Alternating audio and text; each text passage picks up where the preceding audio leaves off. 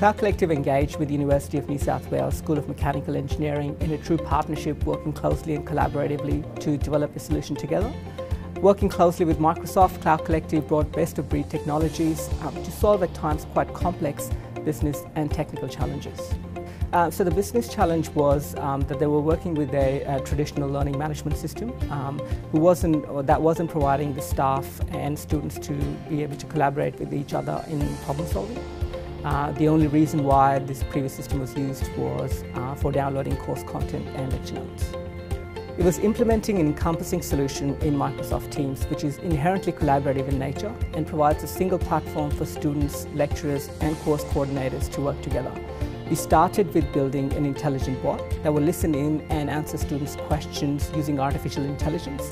We then extended the platform's capabilities uh, by providing more insights engagement and dashboard and reporting capabilities for each of the students.